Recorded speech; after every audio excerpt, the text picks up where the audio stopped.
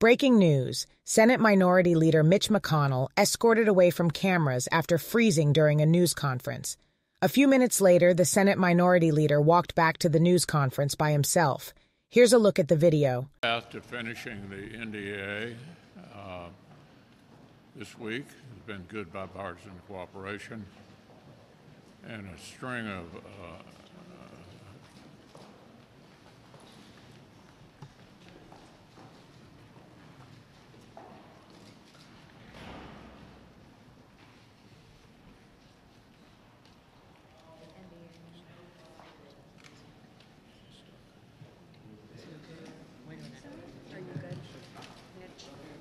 Okay, Mitch?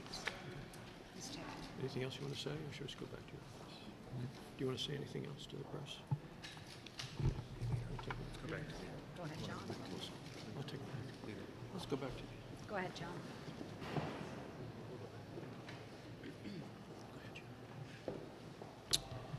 So this is the, uh, we're coming up on the one-year anniversary of the IRA, and um, of course, uh,